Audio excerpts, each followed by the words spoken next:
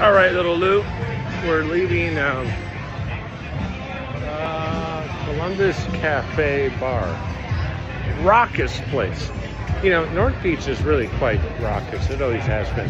San Francisco's a kind of a hard drinking town. Here we are going past some other establishments.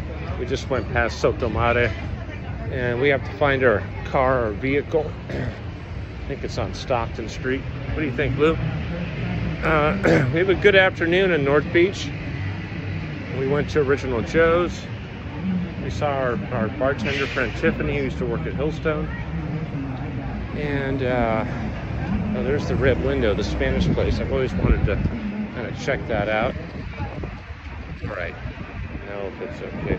It's very confusing. North Beach is very confusing. It's the Italian. We also went to Tosca. Tosca we sat on the bar stools. That was kind of cool, right? I mean, so much for a heat wave. I mean, there's no heat wave here.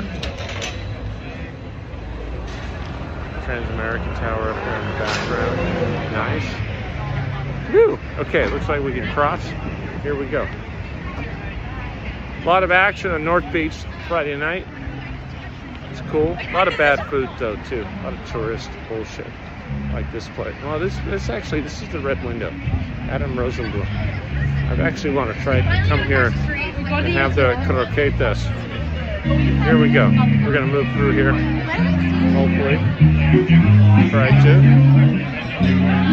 It almost feels like uh, New York City. Unlike Cole Valley, there's actually people out. You wouldn't know there's a recession in place. Well, we don't actually know if there's really a recession. Some people say there's a recession, but he wouldn't say that if you see how people are spending money in our city. Oh my God, the old uh, Rose Pistola. Oh my God, that was such a cool spot to hang out at the bar. I have such good memories here. How sad. How sad it's closed. Oh well.